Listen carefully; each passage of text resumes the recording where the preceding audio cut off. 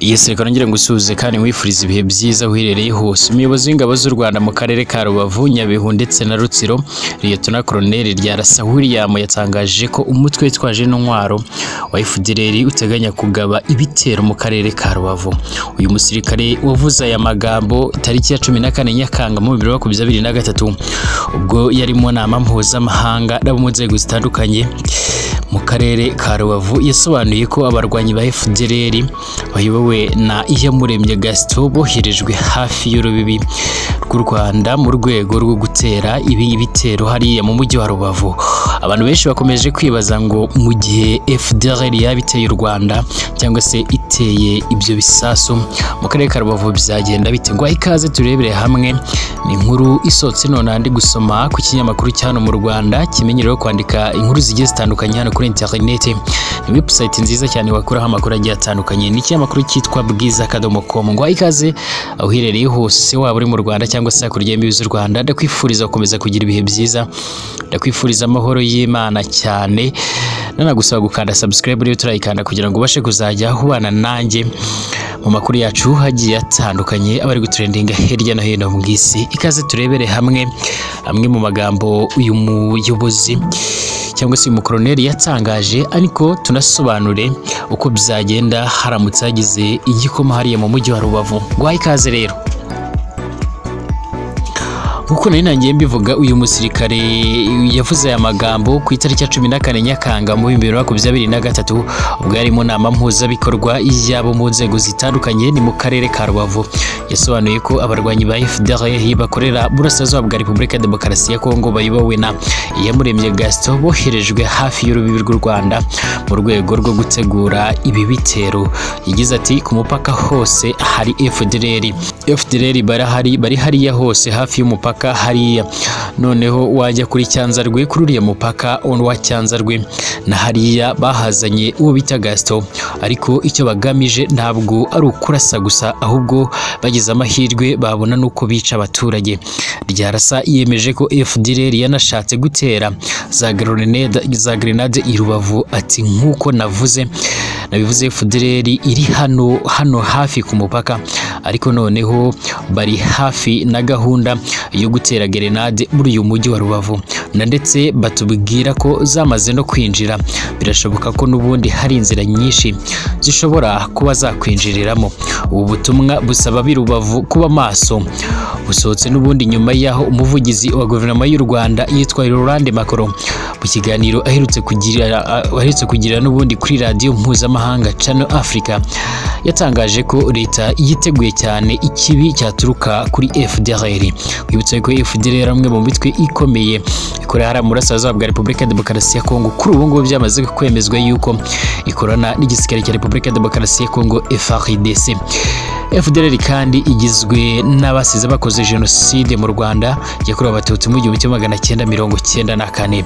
Uyu muvugizi w'u Rwanda witwa Makuru yagize ati duhanze amaso umupaka wacu. Twawoherejeho n'ubundi ngabo ku bwinshi kugira ngo hatabaho kwambuka kandi u Rwanda ntiruzemera ko n'ubundi hari ikintu cyambuka umupaka.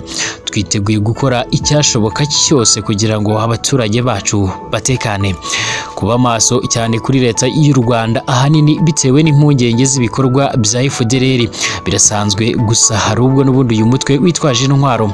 Umaze imyaka irenga makumyabiri muri Repubulika ya Demokarasi ya Kongo wagiye wica muri humye ukagaba ibitero bito mu majyaruguru y'uburengerazuba bw'igihugu cy'u Rwanda. Urugero ni nkaho n'ubundi muri Kanama mu bihumbi bibiri na makumyabiri na rimwe abarwanyi b'uyu mutwe binjiye mu murenge wa Bugeshi muri Rubavu. Bakaharasa inka.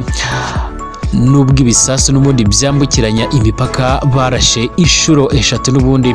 Mu mwaka ushize mu karere ka Musanze ikindi ikindi cyo abarwanyi ba Ruda Urunana uh, bakaba nabo baragiye bagaba ibitero i Musanze mu kwakira mu bihumbi bibiri na cumi n'icyenda nyuma yo gucengera muri pariki y'ibirunga FDLR se iramutse iteye Rubavu ahakurikiraho iki? Iki ni kimwe mu bibazo abantu benshi bakomeje kwibaza. Perezida Paul Kagame w'u Rwanda ubwo yavugaga n'ubundi ku bisasu bya BM minus cumi na kabiri FDLR yarashe i Musanze yemeje ko uyu mutwe witwaje intwaro. Ushyigikiwe na leta ya Repubulika ya Demokarasi ya Kongo kandi ko ariyo yayihaye intwaro zikomeye zirimo n'ibi bisasu. Mu kiganiro yagiranye n'umunyamakuru Charles Onyango Ombo wa The East African. Hari ku itariki ya makumyabiri na gatatu Gicurasi Gashyantare mu bihumbi bibiri na makumyabiri na gatatu yagize ati FDLR yarashe ku butaka bw'u Rwanda. Ikoresheje za BM minus cumi na kabiri ishobora ishobora gukura n'ubundi. Gusa muri leta umukuru w'igihugu yavuze ko n'ubundi intambara yaterwa na FDLR cyangwa se leta ya Repubulika ya Demokarasi ya Kongo itazabera mu Rwanda. Ati twubaha imbibi z'ubutaka bwa RDC ariko natwe dufite izacu zigomba kubahwa ntabwo dukeneye ubutumire ngo tubikore. Ikinyamakuru Report cyo muri Uganda. Nyuma yo kumva impuruza ya Liyetona Colonel Ryarasa cyatangaje ko cyavuganye n'umuyobozi ukomeye mu Rwanda.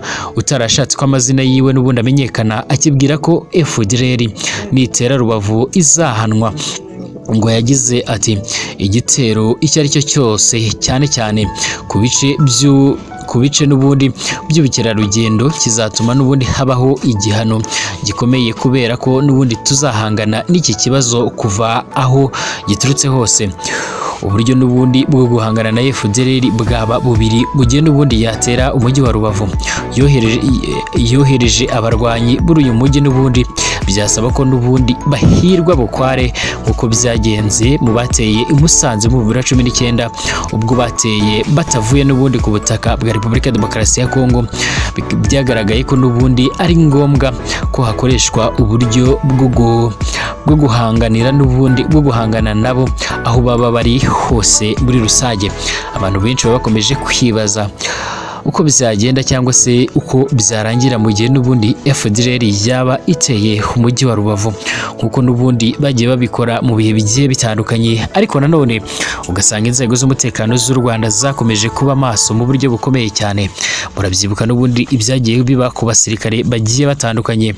Bahariya burasirazuba bwa Repubulika Demokarasi ya Kongo ba FARDC bagiye baza. Bagashaka kwinjira ku butaka bw'u Rwanda barasa ariko bikarangira n'ubundi barashwe bagahita bapfa.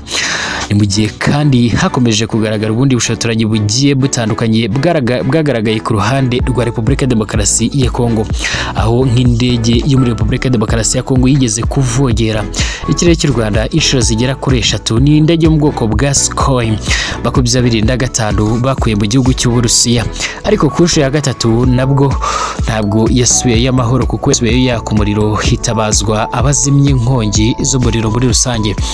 Ni kenshi nyakubahwa perezida wa repubulika y'u rwanda paul kagame yagiye atangaza yuko n'ubundi u rwanda ari igihugu cyubashye kandi cyubaha n'ibindi bihugu. Ariko kandi yanagarutse n'ubundi ku mbibi z'ibihugu bigiye bitandukanye avuga yuko u rwanda rwubaha imbibi za repubulika ya demokarasi ya kongo ariko avuga yuko n'ubundi n'u rwanda rufite imbibi zarwo zigomba kubahwa muri rusange. Yavuze yuko icyaba cyose kitabera ku butaka bw'u rwanda ahubwo cyabera ku butaka bw'uwagishoje muri rusange. Ni abantu benshi bari bakomeje n'ubundi kwibaza uko bizagenda ariko Chip Report ikorera mu gihugu cya Uganda ni ikinyamakuru na cyo cyandikira kuri interinete banditse ko baganiriye n'umwe mu bayobozi bakomeye b'u Rwanda utarashatse yuko amazina ye atangara cyangwa se ajya ahagaragara. Yemeza neza yuko uko bizagenda kose n'ubundi. Hakorwa igishoboka cyose kugira ngo uwaba yateye icyo kibazo abashe kuba yakurikiranwa cyangwa se abashe kuba yafatwa muri rusange. Reka nkwifuriza amahoro y'Imana aho uherereye hose bice bigiye bitandukanye. Nkwifuriza gukomeza kumererwa neza nanagusaba gukanda subscribe niba utarayikanda kugira ngo ubashe kuzajya ubana nanjye umunsi ku munsi. Komeza kugira ibihe byiza rero ndagushimiye.